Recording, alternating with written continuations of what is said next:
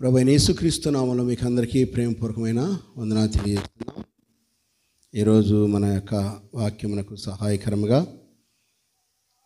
లూకాసు వార్త ఒకటో అధ్యాయము ఇరవై ఎనిమిదో వచనం నుంచి ముప్పై ఒకటో వచనం వరకు మనం చదువుకుందాం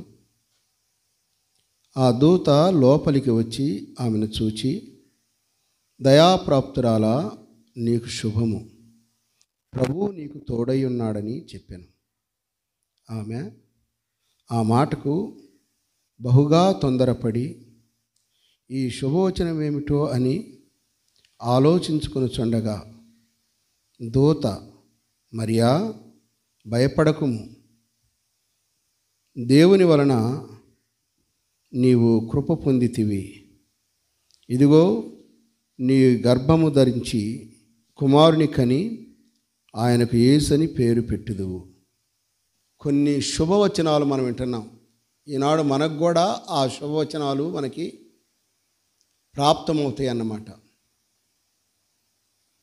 గబ్రియేలు దేవదూత మరియమ్మతో మాట్లాడిన మాట ఆమె ప్రార్థన చేసుకుంటూ ఉండగా గదిలో ఉండగా గృహములో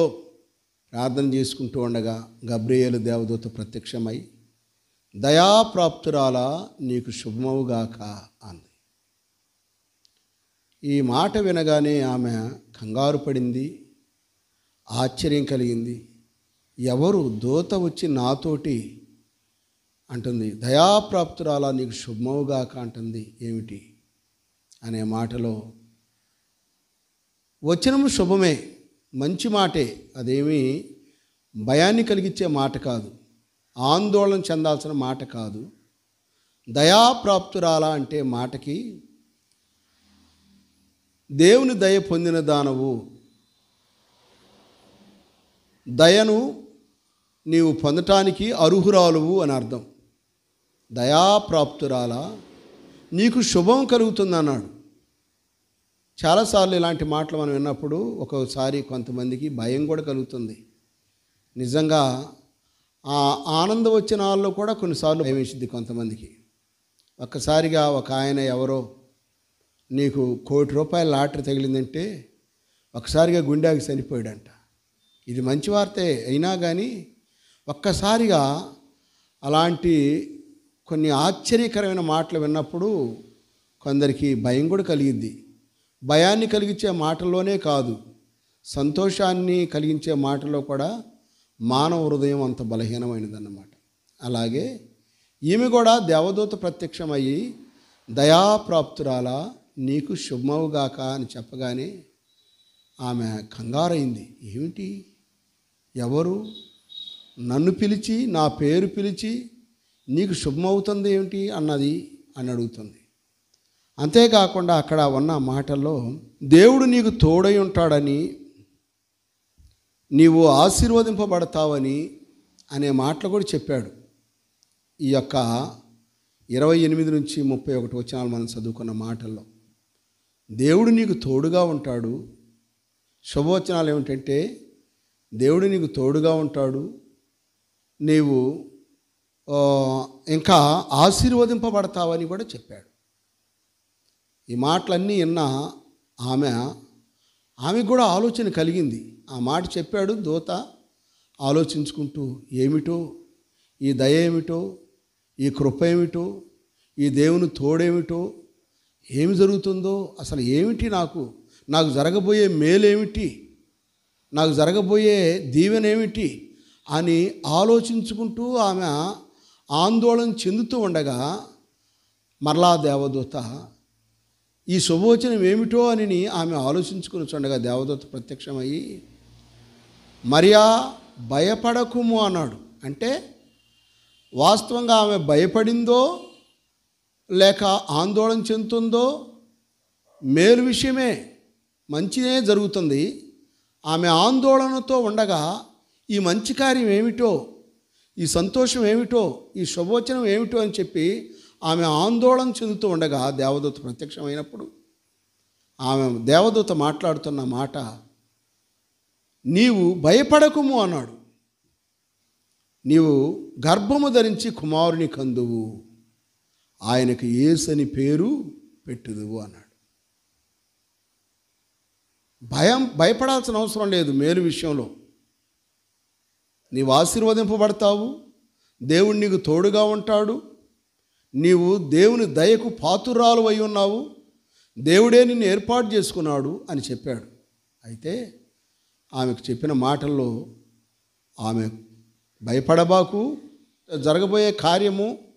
గొప్ప కార్యము నీకు అవమానాలు నిందలు కలిగే కార్యమైనా కానీ భయపడవద్దు ఆందోళన చెందవద్దు ఏమిటి ఆ దయ ఏమిటి ఆ కృప అని నువ్వు తన్ కంగారు పడవద్దు నీవు గర్భము ధరించి కుమారుని కనబోతున్నావు ఆయనకి ఏసని పేరు పెడతారు అని అన్నాడు ఈ మాటలో ఆశ్చర్యాన్ని కలిగించింది ఇంకా ఇంకా ఇప్పుడు నిజంగానే భయం వేసింది అంతకుముందేమో శుభవచనము దయాప్రాప్తురాలు నీకు శుభమవుగాక కనలేకే మంచి మాటలు అనుకోని కత్య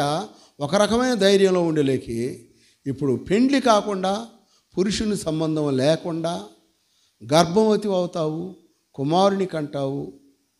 ఏసునే పేరు పెడతావు అని చెప్పగానే నిజంగానే కొంచెం భయం కలిగి ఉంటుంది అందుకనే భయం కలిగింది కాబట్టే దేవదూతే అన్నాడు భయపడకు అన్నాడు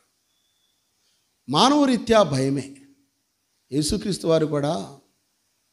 గెచ్చమని తోటలో తాను అప్పగింపబడబో రాత్రి ఏమని అన్నాడో తెలుసా ప్రార్థనలో తండ్రి ఈ పాత్ర నీ ఇష్టమైతే నా యుద్ధ నుండి తొలగిపోనిము ఆయనను నా ఇష్ట ప్రకారం కాదు నీ చిత్త ప్రకారమే అన్నాడు అంటే మానవరీత్యా శరీరంలో ఉన్నాడు కాబట్టి ఆయన దేవుడై ఉండి కూడా మరణం పొందబోతున్న సంగతులు తెలిసి భయాన్ని కలిగి ఉన్నాడు నీ ఇష్టమైతే తొలగించు అయినా నా ఇష్టము కాదన్నాడు ఇక్కడ మరియమ్మ కూడా భయపడింది ఏ పాపం ఎరగిన నాకు ఇలాంటి పరిస్థితి ఏమిటని మత్తీసు వార్త ఒకటో అధ్యాయం ఇరవై ఒకటో వచనంలో కూడా యేసు అనే పేరుకి అర్థం ఏంటంటే ఆమె ఒక కుమారుని కనును తన ప్రజల పాపము నుండి ఆయనే రక్షించును గనక ఆయనకి యేసు అని పేరు పెట్టదు అని రాయబడి యేసుక్రీస్తు అంటే తన ప్రజలను వారి పాపముల నుండి రక్షించేవాడని అర్థం అలాంటి కుమారుని నువ్వు కంటావు ఆయనకి యేసు అంటే అర్థం అది పేరుకు అర్థం అది అన్నాడు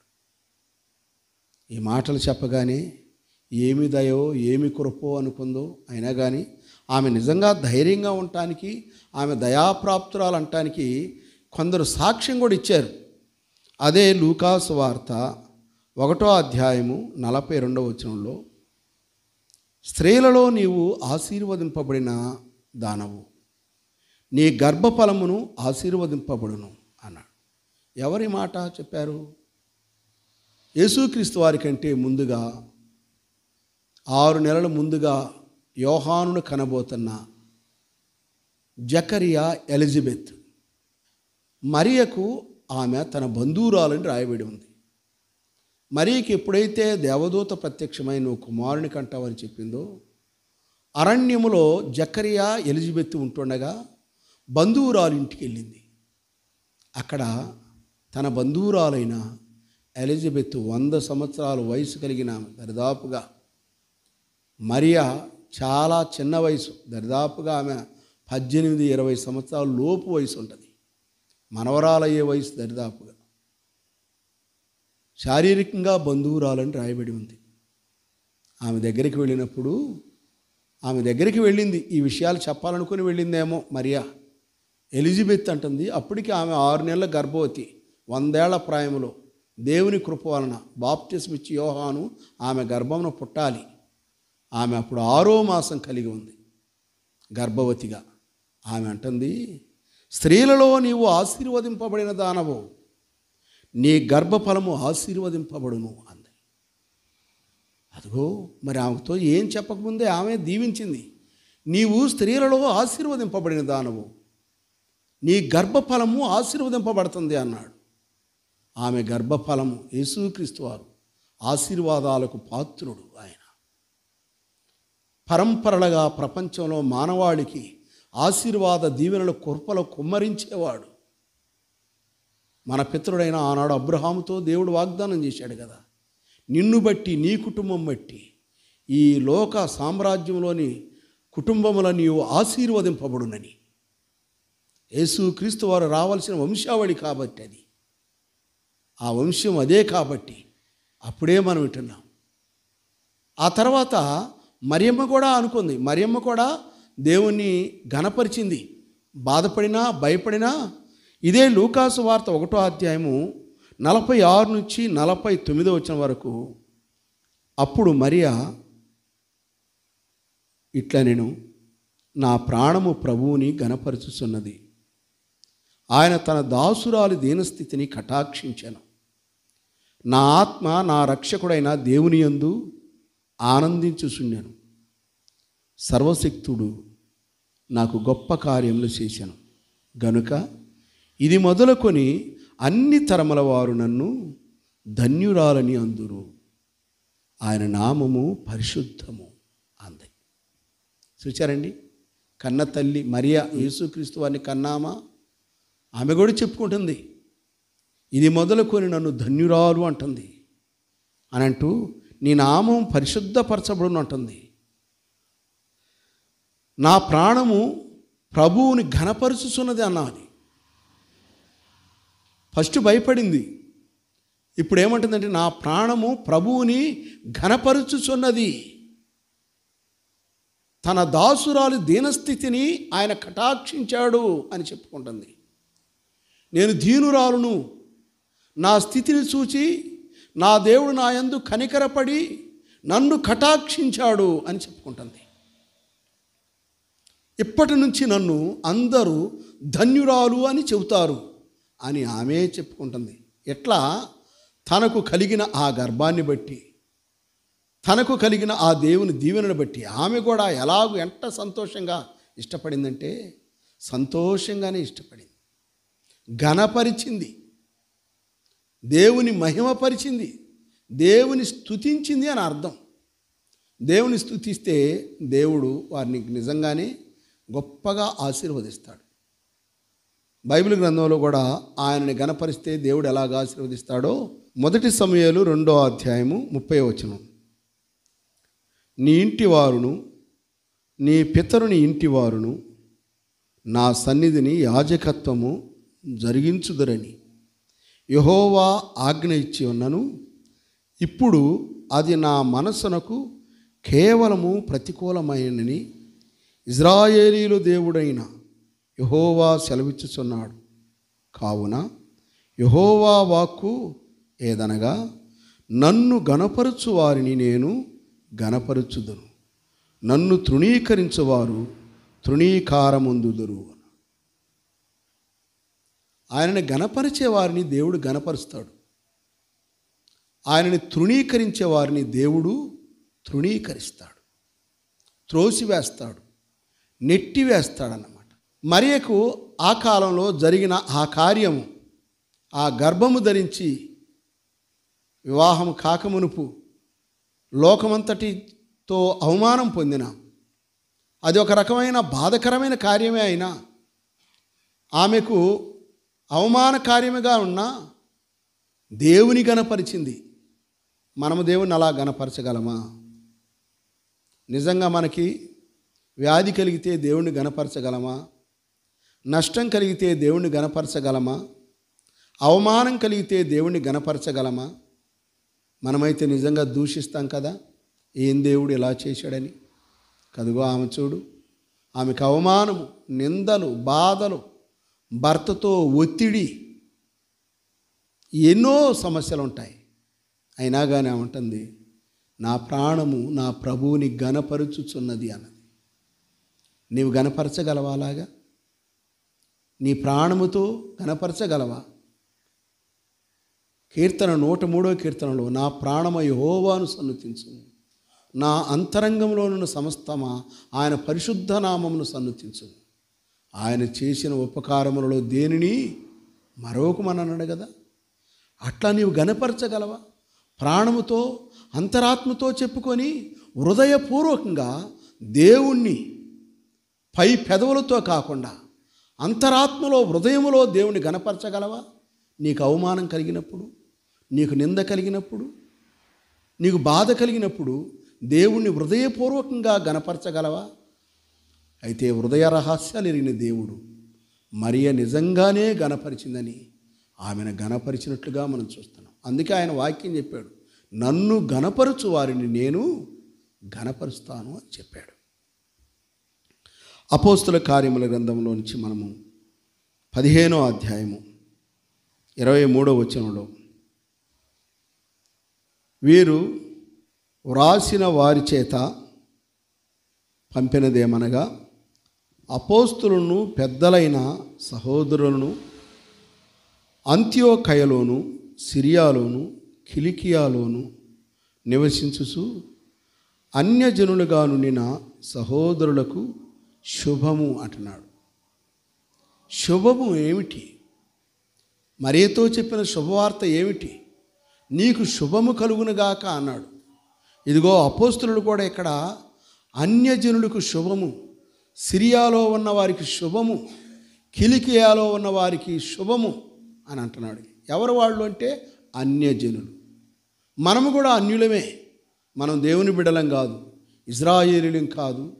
యూదులం అంతకంటే కూడా కాదు మనము అన్యజనులము అంటే దేవుణ్ణి ఎరగని వారము మనకు కూడా శుభమని చెప్పి అపోస్తులు రాస్తున్నారు దేవుని చేత పంపబడిన వారు యేసుక్రీస్తు వారిని నమ్ముకున్న మనకు కూడా శుభాన్ని తెలియజేస్తున్నాడు శుభము అని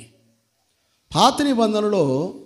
రెండవ సమూహాల గ్రంథం పద్దెనిమిది అధ్యాయం ఇరవై ఏడవ వచనంలో ఒక సందర్భం జరిగింది అదేంటంటే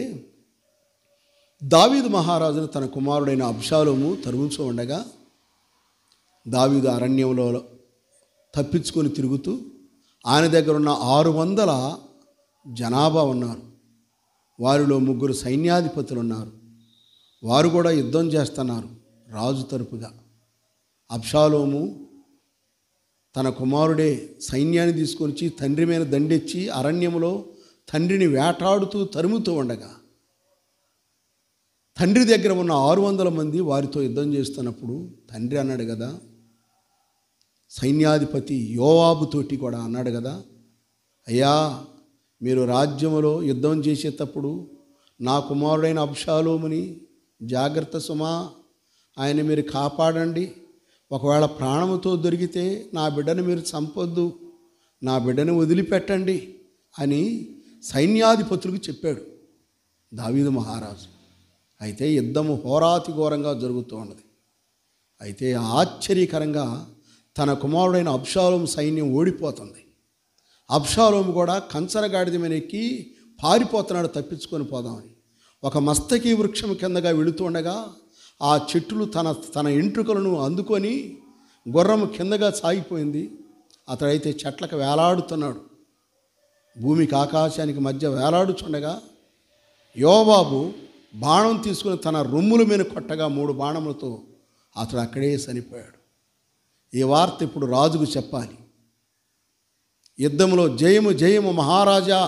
మనకు జయము కలిగింది నీ శత్రువులు హతమయ్యారని చెప్పాలా వార్త చెబుతానికి అందరూ భయపడుతున్నారు చంపింది ఎవరినంటే రాజకుమారుడైన అబ్షాలోమునే తండ్రి చెప్పాడు కూడా నా కుమారుడైన అబ్షాలోమును వదిలిపెట్టండి అని కానీ చంపేశారు యుద్ధం ఎవరి మీదంటే తండ్రి మీద చేస్తున్నాడు కుమారుడు కానీ తండ్రి మాత్రము నా కుమారుని వదిలిపెట్టండి అని చెప్పాడు కానీ సైన్యాధ్యక్షులు చంపేశారు ఈ వార్త రాజుకు చెప్పడానికి భయపడుతున్నారు ఆ దినాలలో ఒకరిని పంపించాడు అతడు పరిగెత్తుతూ ఉన్నాడు దావిదు మహారాజుకి చెప్పడానికి కావలి వారు అంటే ఒక దుర్గములో దాక్కున్నాడు పైన కొండ మీద ఒకడు కావలి ఉన్నాడు ఎవరైనా శత్రువులు వస్తున్నారేమోనని అయితే కావలివాడు ఒకడుండి మహారాజా ఎవరో పరిగెత్తుకుంటా వస్తున్నాడు అని అనగానే అతను ఎవరో కనిపెట్టన్నాడు రాజు చూడగానే అతను ఫలానా వాడులాగా ఉన్నాడు అంటాడు ఆహా అతడైతే మంచి వార్త తెస్తున్నాడు శుభవార్త తెస్తున్నాడు రానిండి అన్నాడు రాజు అంటే ఒక మనిషిని చూడగా నేను ఈ కథ ఎందుకు చెప్పాల్సి వచ్చిందంటే మీకు కొంతమంది మనుషులను చూడగానే చాలా సంతోషం కలిగింది అదిగో అన్న వచ్చాడు ఏదో మంచి మాటలు చెబుతాడు మంచి మాటలు చెబుతాడని కొంతమందిని ముఖాన్ని చూడంగానే భయం వేసింది వామ్ము వీడు ఏం చెబుతాడో వీడు నోట ఏం వచ్చిందో అని భయం మనుషులు చూడగానే అంతే వీడు శుభవచనం పలుకుతాడా వీడు శాపవచనం పలుకుతాడా అని కూడా మనకు అర్థమైపోతుంది అవునండి ఈనాడు మనమందరం కూడా ప్రపంచానికి శుభవార్త చెప్పే వారంగా ఉండాలి శాపవచనాలు పలికే వారంగా మనం ఉండకూడదు అందుకే ఆ శుభవచనం ఏమిటో నమ్మిన నీవు నేను అన్యులమైన మనము శుభవచనము ప్రపంచముతో పలకవలసిన వారంగా ఉన్నాం దావీదు మహారాజు కనిపెట్టాడు అతడు రానివ్వండి అతన్ని అతడు శుభవచనమే పలుకుతాడు అతడు తెచ్చే సమాచారము మంచి సమాచారమే అతడు చాలా మంచివాడు అన్నాడు వ్యక్తిని బట్టి దావీదు ప్రకటన చేశాడు అతను మంచి వార్త తెస్తాడని ఈనాడు మనం కూడా అదిగో ఫలానా కోటిశ్రావు దైవసేవకుడు వస్తానంటే ఆహా ఆయన దేవుడు మాటలు చెబుతాడు అనుకోవాలి అదిగో ఫలానా వ్యక్తి వస్తానంటే వామ్మ అతను చెబితే చెడ్డ మాటలన్నీ కుటుంబాలు నాశనం అయిపోతాయి అనే వ్యక్తులు కొంతమంది ఉన్నారు మనం ఏ మాటలు చెప్పేవాళ్ళంగా ఉన్నాం లోకానికి మనం ఏ వార్త అందించేవారంగా ఉన్నాము ఈ ప్రపంచానికి ఈ మాటలను బట్టి మనం అర్థం చేసుకోవాలండి అందుకనే రెండవ రాజుల గ్రంథము ఏడో అధ్యాయం తొమ్మిదో వచ్చంలో వారు మనము చేయునది మంచిది కాదు మనము ఊరకొననేలా తెల్లవారు వరకు మనం ఇచ్చటనే నుండిన ఎడల ఏదైనా ఒక అపాయం మనకు సంభవించును గనుక మనము వెళ్ళి రాజు ఇంటి వారితో సంగతి తెలియజెప్పుదము రెండని ఒకరితో ఒకరు చెప్పుకొనిరి ఈ మాటలు ఏమిటి అని ఇక్కడ కూడా ఒక కథ ఉంది ఇదంతా చెప్పాలంటే సమయం చాలా అవుతుంది దేశమైన కరువు వచ్చినప్పుడు మనుషులు ఆహారం లేనప్పుడు ఎలియా భక్తుడు తెలియజేసిన మాట రేపు ఈ వేళకి రూపాయి ఒకటింటికి సన్నని పిండియు గోధుమలు అమ్మబడతాయి అంటే నమ్మనే నమ్మం అన్నారు ఆ రోజుల్లో కుష్ఠురోగులు పాలెమునకు వెలుపల ఉన్నారు సిరియనులు దండెత్తి ఇజ్రాయెల్ పట్టణాన్ని ముట్టడేసి ఉన్నారు ఎవరూ బయటకు రావటం లేదు అయితే దేవుడు ఏం చేశాడంటే ఆ సిరియా సైన్యాన్ని ఒక పెద్ద సౌండ్ ఉరుములు మెరుపులు యుద్ధ ధ్వనులు వినిపించలేక రాత్రికి రాత్రే భయపడి ఇజ్రాయేలీలు మన మీద కూర్చి మనల్ని చంపుతారని చెప్పి వారి గుర్రాలు ఆ గొంటెలను వారి బలము వాళ్ళు బంగారము డబ్బులు వారి ఆస్తి వారంతా ఆ గుడారాలు విడిచిపెట్టి పారిపోయారు ఈ పట్టణంలోనేమో కరువు ఉంది పట్టణం వెలుపుటేమో శత్రు సైన్యం ఉంది ఎటు పోయినా తప్పదని ఊరి వెలపలన యొక్క రోగులు అయ్యా మనం ఎట్టయిన చచ్చిపోదాం సిరియనుడు దండుపేటకి వెళదాం మనం సత్యసాద్దాం బతికితే బతుకుదాం అనుకుని పోయారు వాడు అక్కడికి పోయలేక అక్కడ ఎవరు లేరు సిరియనుడు వారి ఆస్తి ఆహారము ధాన్యము వస్త్రములు కొల్ల కొల్ల సొమ్ములాగా ఉంది అదంతా తీసుకొని వాళ్ళు దాచిపెట్టుకొని సంతోషపడుతూ ఉంటే వాళ్ళల్లో ఒకడన్నాడు అయ్యా పట్టణంలో రాజు ప్రజలు ఆహారం లేక చచ్చిపోతున్నారు మనమేమో సిరియనులు ఉన్నారనుకుని ఎవరు బయటకు రావట్లేదు వాళ్ళు కూడా గవిని వేయబడింది కుష్ఠరోగులం కనుక మనం బయట ఉండి సిరియనులు దండుపేటకు వస్తే వాళ్ళందరూ పారిపోయిన సంగతి మనకే తెలుసు మనమైతే ఈ ఆహారం తింటున్నాం ఈ డబ్బులు దాచుకుంటున్నాం ఇది మంచి పని కాదు మనకి మనం వెళ్ళి ఈ శుభవార్త పట్టణంలో రాజుకు చెప్పాలి అనుకున్నారు అవునండి మనకు కూడా కలిగిన ఈ గొప్ప రక్షణ ఈ గొప్ప దీవెన కుష్ఠురోగులమైన ఆధ్యాత్మిక పాప రోగులమైన మనకు మన ప్రభు యేసుక్రీస్తు వారు కలిగించిన ఈ గొప్ప రక్షణ సువార్తను మనము ప్రపంచానికి అందించాలి రాజులకు అందించాలి అధికారులకు అందించాలి మనం చేయి పని మంచిది కాదు మనం రక్షింపబడి హాయిగా నేను రక్షింపబడ్డాంలే నా కుటుంబం రక్షింపబడ్డాంలే సాల్లే మనం ఎట్నే ఉందామనుకోవటం మంచి పని కాదు నీ ఇరుగు పొరుగు వారికి రక్షణ కావాలి నీ పక్కవారు రక్షణ లేకుండా ఉన్న వారికి రక్షణ కావాలి మనకై మన స్వార్థంగా ఈ రక్షణ పొంది మనం హాయిగా ఉండటం మంచి పని కాదనుకున్నారు వాళ్ళు అలాగైతే నీవు కూడా శువార్త ప్రకటించాలి సుమా శుభవార్త ప్రకటించాలి అనేకులకు నీవు కనబడాలి దేవుని బిడ్డగా నహూము గ్రంథంలో ఒక మాట రాయబడి ఉంది ఒకటో అధ్యాయం పదిహేను వచనంలో సువార్త ప్రకటించు సమాధాన వార్తమానము తెలియజేయువాని పాదములు పర్వతముల మీద కనబడుచున్నవి యోధా నీ పండుగలలో ఆచరించు నీ మృక్కుబళ్ళు చెల్లింపు వ్యర్థుడు నీ మధ్య ఇక సంచరించడు వాడు బొత్తిగా నాశనమాయను చూచారా అండి చెబుతున్న మాటలు నీవే స్వార్థ ప్రకటిస్తే నీవే సాక్షిగా ఉంటే నీవే దేవుని బిడ్డగా నీ ఇరుగు పొరుగు వారి మధ్య నీ పక్కవారి మధ్య సంఘములో సమాజంలో ఉద్యోగంలో వ్యాపారములో వ్యవసాయంలో కూలి పనుల్లో నువ్వు ఉండే ప్రతి స్థలంలో నీవు చేసే నీవు ఫ్యాక్టరీలో పనిచేస్తున్న స్థలంలోనైనా సరే నీవు దేవుని బిడ్డలకు సాక్షిగా ఉంటే నీవు దేవునికి వరకు న్యాయంగా జీవిస్తే నమ్మకస్తులుగా జీవిస్తే నిన్ను గురించి దేవుడు తెలియజేస్తున్నమాట స్వార్థ ప్రకటించు వారి పాదములు పర్వతములమైన సుందరములు వారి ప్రవర్తన ప్రపంచంలోనే గొప్పగా చెప్పబడుతుంది అని వారిని దీవించి ఆశీర్వదించి యోధా ఇజ్రాయేలు వారలారా దేవుని పిల్లల వారలారా దేవుని నమ్ముకున్న వారలారా మీరు మీ పండగలలో ప్రవేశించుడి మీ ఆనందాలలో ఉల్లసించండి అని చెబుతున్నాడు ఈనాడు మనం పండగలు రకరకాలుగా జరుపుకుంటున్నాం ఆనందిస్తున్నాం నిజమే ఎప్పుడు నీవు ఆనందించాలంటే ఆ దేవుని స్వార్థమానాన్ని ప్రకటించినప్పుడు నువ్వు అలాగ చేయగలిగినప్పుడు నీవు అర్హుడవు ఆనందించడానికి అలాగుండాలని దేవుని వాక్యం మనకి తేటగా తెలియజేస్తుంది అపోస్తుల కార్యముల గ్రంథము ఎనిమిదో అధ్యాయము ముప్పై ఐదో వచనంలో అందుకు పిలుపు నోరు తెరిచి ఆ లేఖనమును అనుసరించి అతనికి యేసును గురించిన స్వార్త ప్రకటించాను ఏమి సువార్త ఆ సువార్త యేసును గురించిన సువార్త సువార్త అంటే ఏమిటి అనుకుంటున్నారు యేసు క్రీస్తు వారిని గురించిన సువార్త యేసు ప్రభు వారి మాటలే సువార్త పిలుపు చెప్పాడు నోరు తెరిచి చెప్పాడు ప్రకటిస్తున్న సూర్య పిలుపు చెప్పాడు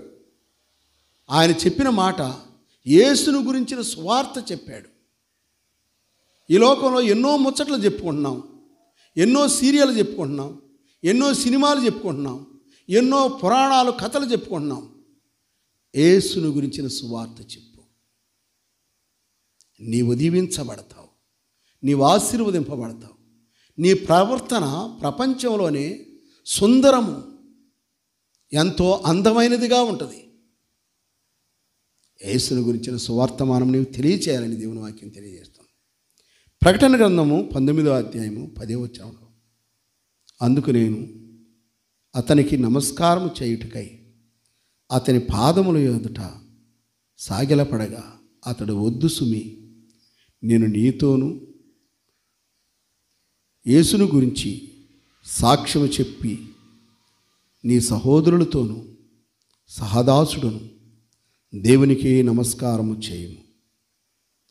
యేసును గురించిన సాక్ష్యము ప్రవచనానుసారమని నాతో చెప్పాను ప్రియులారి మాటలన్నీ చెబుతున్న మనకి ప్రకటన గ్రంథం రాసిన యోహాను అతనికి దేవదూత ప్రత్యక్షమై పరలోకంలో ఉన్న సంగతులన్నీ చూపించాడంట ఇదిగో దేవదూతలు కెరూబులు శరాపులు నలుగురు దూతలు ఇరవై నలుగురు పెద్దలు పరిశుద్ధుడైన దేవుడు ఆయన చేయబోతున్న కార్యములు ఏడు బోరలు పట్టుకున్నవారు ఏడు ముద్రలు కలిగిన గ్రంథము ఏడు పాత్రలు కలిగిన వారు ఏడు రకరకాలైన సంగతులన్నీ బైబిల్లో మొత్తం జరగబోయే సంగతులన్నీ చూపించినప్పుడు యోహాను అది మొత్తం తిరిగి చూసి ఈ దృశ్యాలన్నీ చూపించిన దేవదూత పాదాలకు నమస్కారం చేయబడంట యోహాను ఆ దేవదూత అన్నదంట వద్దు సుమి నాకు నమస్కారం చేయొద్దు నేను నీతో నీ సహోదరులతో సహదాసుడను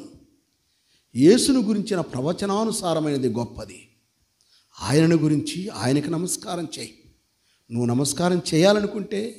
నీవు ఆరాధించాలనుకుంటే యేసును గురించి నమస్కారం చేయి యేసుకు నమస్కారం చేయి యేసుని ఆరాధించు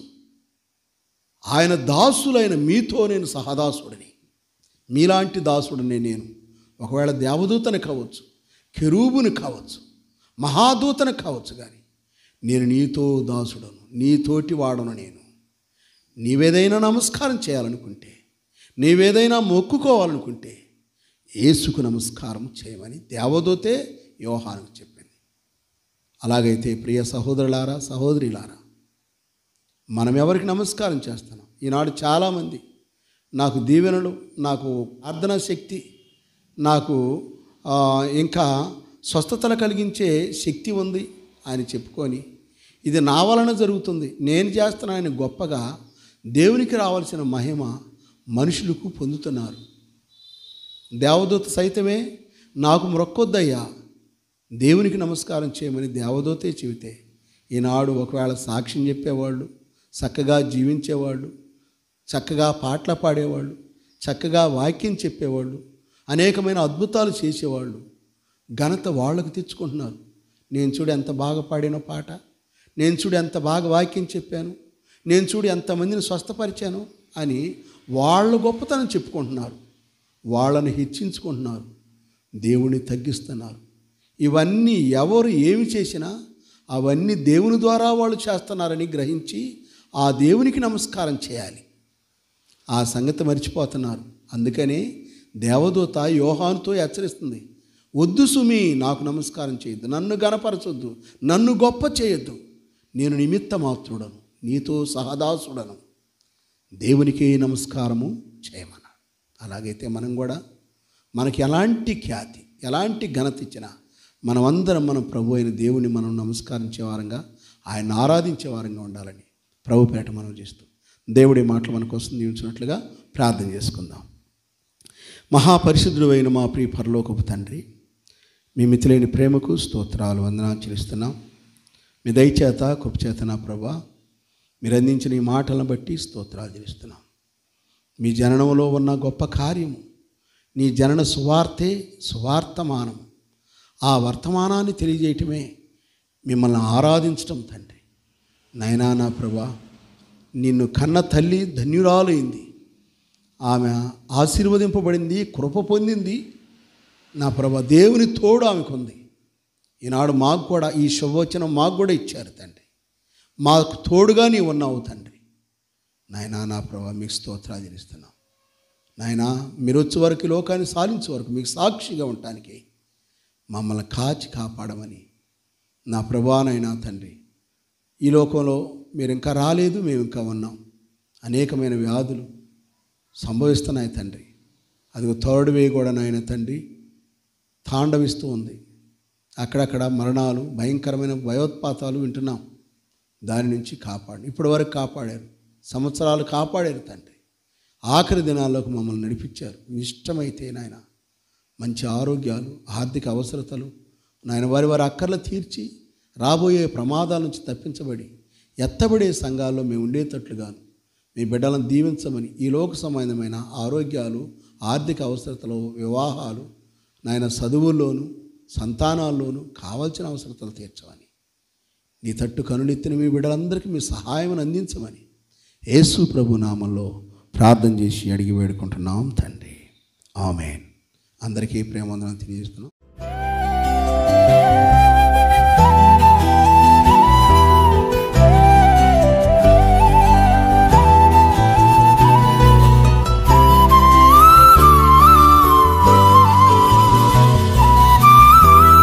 For address, Bethel Prayer Hall, Christian Brethren Assembly, NSP Colony, Kuruchedu, Prakasham District, Andhra Pradesh 523304.